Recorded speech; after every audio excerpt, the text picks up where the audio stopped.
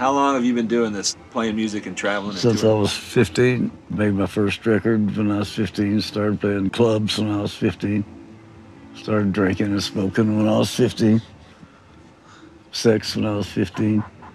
15 was a big year for me. When Johnny picks up a guitar, you never know quite what's going to come at you, but whatever it is, it's going to be good.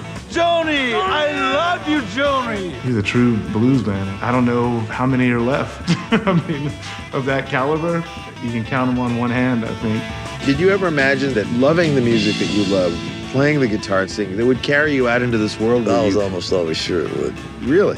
I was sure I was going to be successful.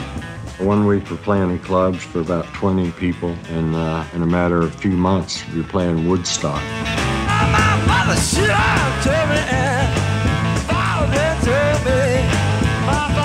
Not easy being a legend, and it does take its toll. We were doing so much coke that the guy said, I'm not selling you anymore. You're going to die.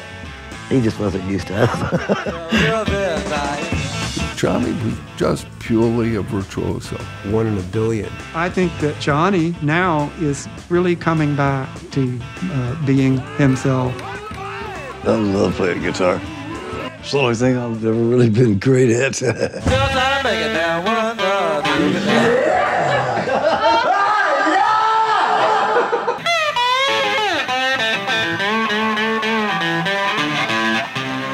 Down and Dirty, the Johnny Winter story. Yeah. That'd be cool.